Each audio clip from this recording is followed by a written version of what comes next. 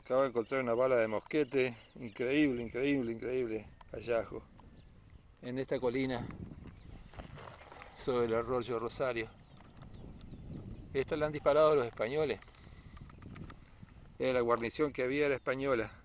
Yo no sabía que usaban, sí, usaban mosquetes todavía de carga por la boca.